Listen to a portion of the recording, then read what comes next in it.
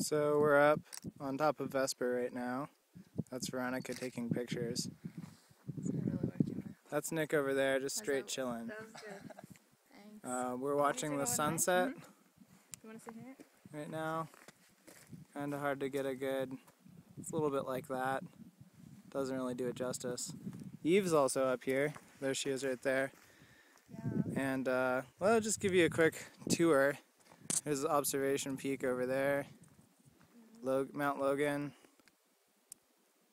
Split Thumb going around. You can see the Mendenhall Towers off in the distance. Right there next to the sunset, that's uh.